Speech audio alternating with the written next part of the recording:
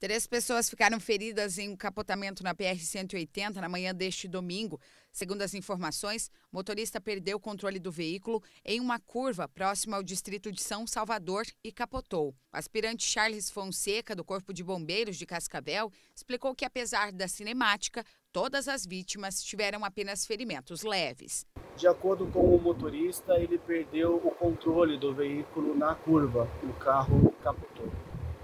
Sim, estão bem. A gente é, indica que é um código 2, é, mais por conta da mecânica, né, que foi um capotamento, mas todas as vítimas estavam orientadas. Né.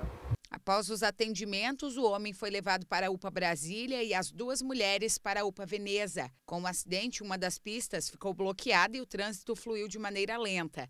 O Departamento de Estradas de Rodagem, juntamente com a Polícia Rodoviária Estadual, foram acionados para auxiliarem no fluxo e na sinalização da via. KTV é um portal diferente.